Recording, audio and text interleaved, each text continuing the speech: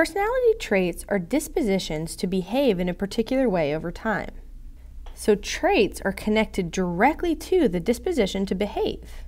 Let's look at an example. Here we see Miriam and Barium. Miriam is usually very friendly. Watch. See, someone cut her in the lunch line and she was nice about it. She holds a door for people when they're walking in.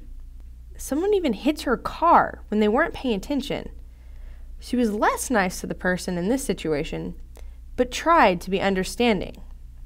Someone gave her a million dollars and she was extra nice to them. Now let's go to Barium, who's usually not very friendly. Somebody cut him in line, and he rudely makes them know how wrong they were to cut him.